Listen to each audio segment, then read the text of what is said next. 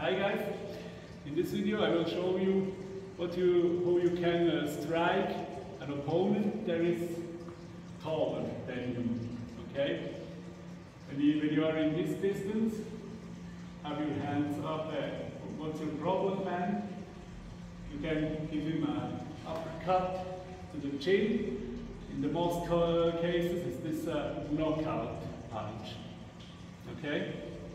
Like this. Or you can also with the, give him a slap to the, the groin. Okay? There another. Or also with a head. Boom. Okay? Like that. Boom. And what is also possible with the palm strike to the chin, like that. Okay? Thanks for watching and see you in the next video. Bye.